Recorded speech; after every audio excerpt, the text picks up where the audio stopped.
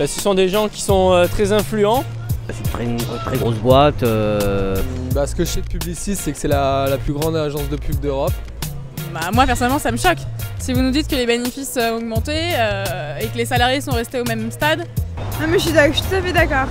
Ils ont parfaitement raison de se révolter. C'est conforme au système capitaliste, c'est-à-dire qu'on valorise que ceux qui sont tout en haut et ceux qui sont en bas, bah,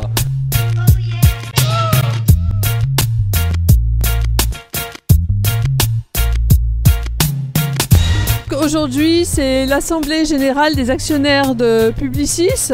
Et à cette occasion, euh, Infocom CGT fait un rendez-vous pour euh, protester sur le fait qu'il n'y a pas d'augmentation euh, collective dans les agences du groupe.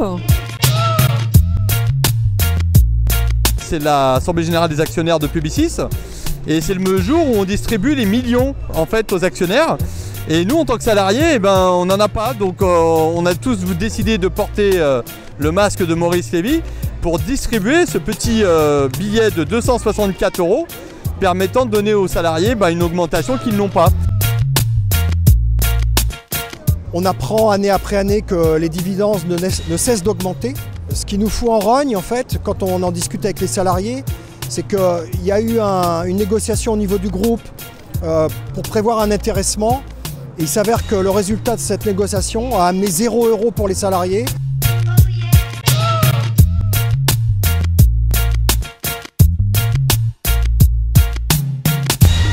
Comme eux ont été vraiment euh, très très augmentés, ont eu des, des dividendes augmentés de 22%, on est venu pour en réclamer une petite part, une part du, gâteau. Il y, en- il y en a qui m'ont dit euh, vous n'avez qu'à en acheter des, des actions si vous en voulez aussi. Donc j'ai répondu que je préférais gagner de l'argent en travaillant quand même. Moi, je suis retraité, je suis venu soutenir les salariés qui ont fait cette, euh, cette action à fond dans tout ce qu'ils font. Voilà.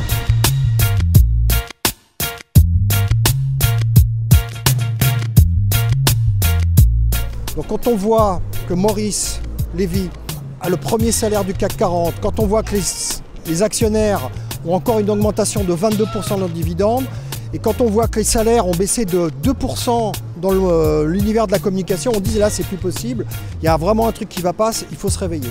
Publicis est une entreprise euh, bénéficiaire qui fonctionne bien.